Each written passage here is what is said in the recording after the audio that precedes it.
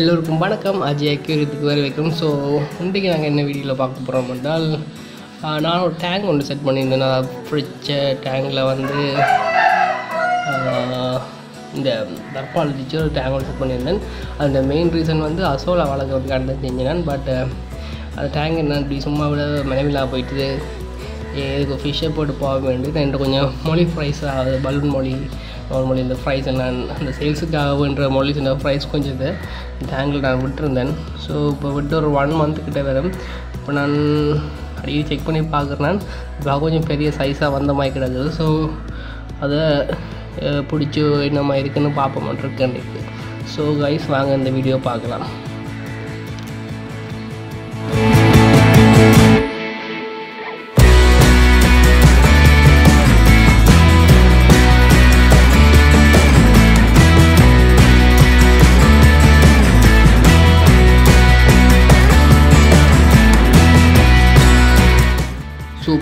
பார்த்தீங்கன்னா நான் முதல்ல வந்து மேலே இருக்கிற அசோலாவை எடுத்தாகணும் ஸோ இந்த அசோலா நிறைய பெருகிட்டு பெருகி வந்து நான் வேறு ஒரு டேங்கில் போட்டு வச்சுக்கிறேன்.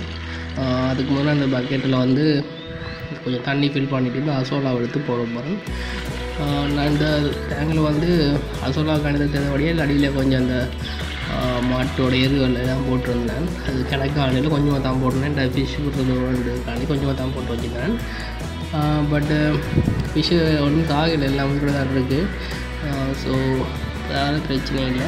ஆனால் கூட இந்த எரு போட்டால் சாகிறதுக்கான சான்ஸ் இருக்குது ஏன்னா அமோனியா லெவல் கூடிடும். ஃபிஷ் இறக்கிறதுக்கு சான்ஸ் இருக்குது நாங்கள் கொஞ்சம் தான் போட்டேன் பட் அசோலும் நல்லா க்ரோ ஆகிருக்கு இல்லை நான் இது ஒரு சிங்கிள் இது ஒரு டேங்க் தான்.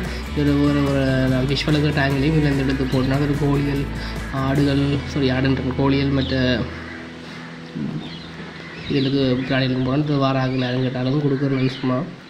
ஸோ இப்போ ஃப்ரிட்ஜு நான் சொன்னேன்ல பெரியனான்னு சொல்லலாம் அந்த டேங்கில் அதோட ஃபிஷ்ஷும் க்ரோவாக இருக்குது பார்ப்போம் என்னமா மாதிரி இருக்குன்னு. ஃபஸ்ட் நான் வந்து இது கவலை சொல்லாமல் எடுக்க போகிறேன்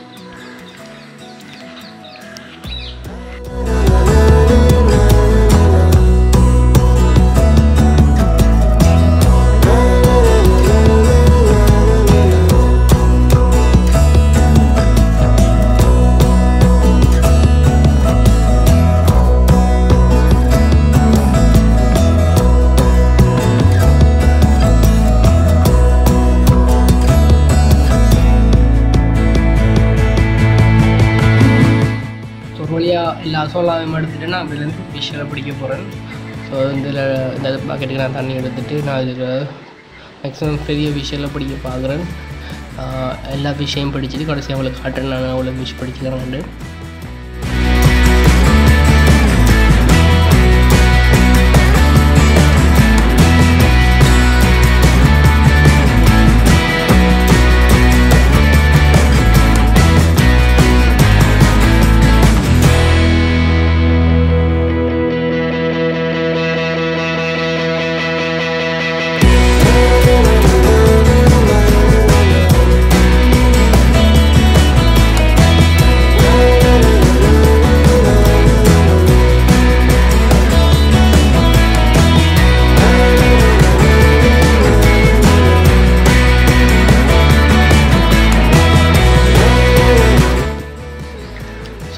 பார்த்தீங்கன்னா இப்போ நான் வந்து இவ்வளோ ஃபிஷ் பிடிச்சிக்கிறேன் உங்களுக்கு இந்த இதில் வழியாக தெரியுது இல்லைன்னா தண்ணியில் கொஞ்சம் கலங்களில் இருந்தபடியால் பார்க்குறது கஷ்டமாக இருக்கும். நான் மேக்ஸிமம் காட்ட ட்ரை பண்ணுறேன் அப்படி இல்லாட்டி நான் உங்களுக்கு அப்புறம் ஒரு ஒரு தொட்டிக்கில் விட்டுட்டு நம்மளுடைய காட்டுறேன் அந்த ஃபிஷ் எப்படி இருக்குண்டு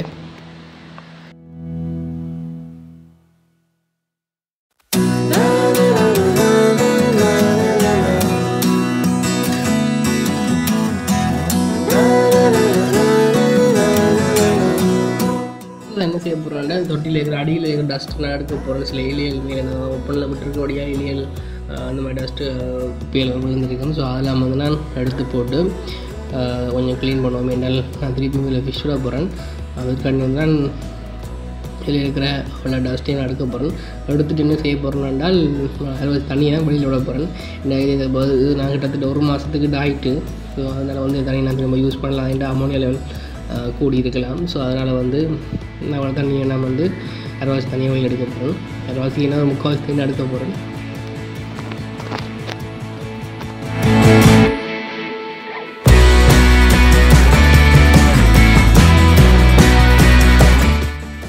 என்னென்றால் பார்த்தீங்கன்னா அது நல்ல ஒரு ஒரு சத்தான தண்ணி மரங்களுக்கு. ஸோ அதனால் வந்து நான் அதை வேஸ்ட் பண்ண விரும்பலை.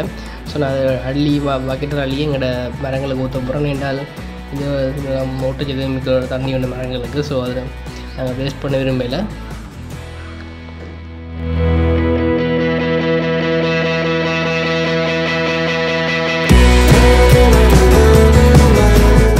பார்த்தீங்கன்னா நான் சொன்ன மாதிரி முக்கால் தண்ணி எடுத்துட்டேன்.